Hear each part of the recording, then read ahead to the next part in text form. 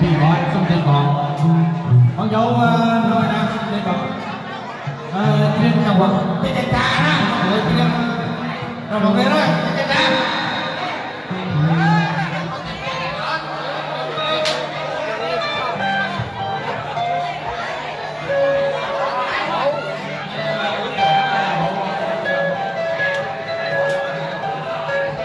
chú ý các bạn hỏi